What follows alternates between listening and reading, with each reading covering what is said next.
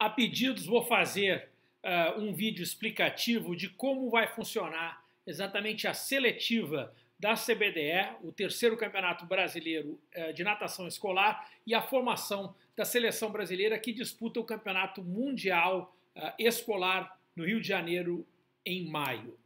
A seletiva que acontece no Rio de Janeiro vai ser na piscina do Maria Lenk. Aliás, Maria Lenk vai receber tanto a seletiva quanto o campeonato mundial. A seletiva é de 21 a 24. O campeonato é o terceiro campeonato brasileiro escolar, de 21 a 24 de março. 21 é a chegada das delegações, 22 e 23, dois dias, eliminatória e finais, e no dia 24, o retorno das delegações a seus respectivos estados.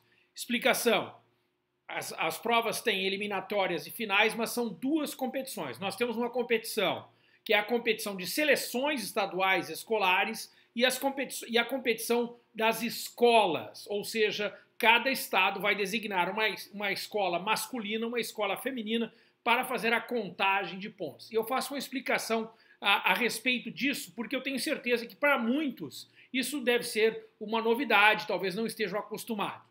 A competição ela é aberta para nadadores de 15 a 18 anos de idade. 15 a 18 anos de idade, e importante é de que até o dia 24 de fevereiro os atletas já têm que estar registrados, inscritos, porque fecha a, a, a, o processo de inscrição para a competição. A competição é aberta para atletas de 15 a 18, ou seja, os nascidos em 2001, 2002, 2003 e 2004. Essa mesma faixa etária será a faixa etária do Campeonato Mundial Escolar, que acontecerá em maio. São, agora vamos explicar então uh, por partes a, como é a composição da seleção. Cada estado tem direito a 24 atletas, dois treinadores, perdão, quatro treinadores, porque são dois para o escolar e dois para a seleção, e um dirigente. Ou seja, cada delegação estadual vai ter uma composição total de 29 uh, integrantes. Todas as despesas de passagem, hospedagem e alimentação estão sendo cobertas pela CBDR. Então, além de ser uma boa competição, uma boa oportunidade, também uma grande chance na, nesses tempos de crise, grande movimento que a CBDE conseguiu oferecer aos atletas. Com certeza vamos ter uma grande representação para defender o Brasil nesse campeonato mundial que acontece em maio. Agora vamos explicar como é que funcionam as provas. Vamos lá. Para quem nada a disputa de escolas, nós temos as provas de 50 e 100 metros e 200 metros nado livre, 50 sem costa, 50 sem peito, 50 e 100 borboleta. Esse é o pessoal que disputa na escola. O 4 por 50 medley e o 6 por 50 livre de revezamento. Essa é a disputa por escola. Uma escola por estado masculino, uma escola por estado no feminino. Se a sua escola não tem seis nadadores, não há problema, você pode escrever o número que tem representativos à sua escola. A segunda competição, que é na mesma eh, disputa, é a disputa por seleção.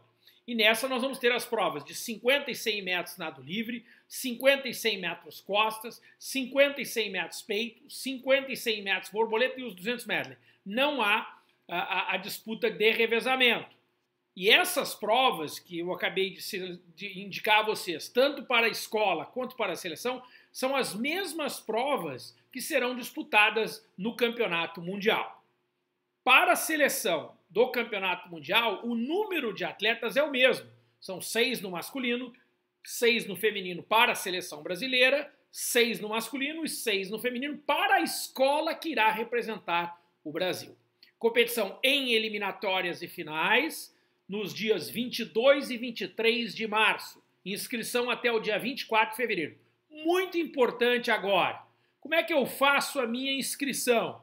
Primeiro movimento, você tem que procurar a sua escola, seu departamento atlético dentro da sua escola e procurar a federação escolar. Essa competição não tem absolutamente a ver com federação estadual, nem CBDA. Isso é uma competição da CBDE. Então, a, o, o, atleta que estiver interessado, seu familiar, deve procurar a primeiro a sua escola, a delegacia, delegacia regional e a sua federação escolar de esporte que todas as 27 eh, federa todos os 27 estados possuem. É importante, o tempo está contra nós. Provavelmente pela data 24 de fevereiro, como precisa ser feito, dificilmente algumas federações estaduais terão condições de fazer uma seletiva. Ficou muito em cima por conta do calendário. É um calendário internacional que nós estamos seguindo. Portanto, provavelmente os critérios de convocação dessas uh, respectivas 27 federações vai ser baseado no ranking do que nós tivemos do ano passado.